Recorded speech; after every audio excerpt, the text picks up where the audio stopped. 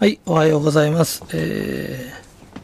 ー、100回聞いてくださいの話です。えーこの話も、えー100回聞くとわかります、えー本当に簡単な話ですから、ぜひ、えー100回聞いてみてください。えーと、このとこ100回シリーズの話してるんですけど、これも4作目ぐらいになると思います。えー笑顔でいるんだよ。自分の機嫌は自分で取るんだよって話。それから、仕事のことでも自分の能力でも一生懸命出し切るんだよっていう話。えー、100回シリーズでずっとしてると思うんですけど、それから、徳というのを一生懸命出すんだよっ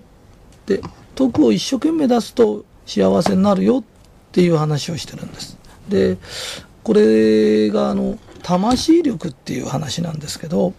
魂のステージがこう上がります。仕事一生懸命やる。自分の、もう自分の機嫌を人にとってもらおうとしてる人間と、自分のに、あの、気持ちね、自分の機嫌を自分で取れる人っていうのはもう魂の力が全然違うんです。だからそういう人っていうのは、魂力っていうのが全然違います。それから同じ、同じレベルの人いますよね。で、同じレベルの人がいると、同じレベルの人は本当にこう、いい学校出てるとか、持ち物がいい、ブランド物を持ってるとかっていうことで差をつけたり、いい車乗ってるとかっていう差をつけることができるんです。ところが、どんなに頑張ってみても、魂力、魂のステージが上に上がっちゃった人には絶対勝てないんです。不思議なもんなんだけど、あの、魂力のある人、例えば、うん、学校で、例えば郵便局で働いてる。その郵便局で働いてものすごく一生懸命働く人がいるんです。それから同僚の手伝いしてあげる人もいるんです。で、そういうふうに徳をいっぱい積んでる人っていうのは、郵政大臣より幸せな郵便配達の人っているんです。で、そういう人やなんか会った時に、魂レベルが上だと、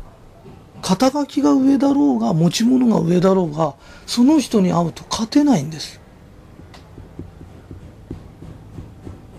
だから、よ、よく言うんだけど、本当になんつうの、校長先生より立派な考え方の用務員がいたら困るということではないんです。だから自分が総理大臣になった時あの人にお礼を言いたいっていう人が用務員のおじさんだったって全然構わないんです。だからそういうふうに自分の持てる力を一生懸命出して自分の機嫌を取れた人は普通の人ともう魂のステージが違うんです。だからそういう人のそうやって世間でそういう人の悪口を言いふらす人もいます。でも魂の次元が違っちゃった人の悪口言ってると天に唾すると全部自分の顔にかかるんです。唾吐いた人の顔にかかってきます。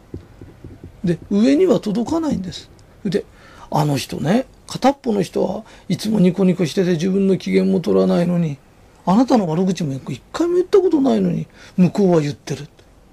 そうすると世間はずっと見ててこの人は怪しいとかこの人は変だと自分で自分のかけた唾がかかってくるんです。だから何言いたいんですかって言うとあの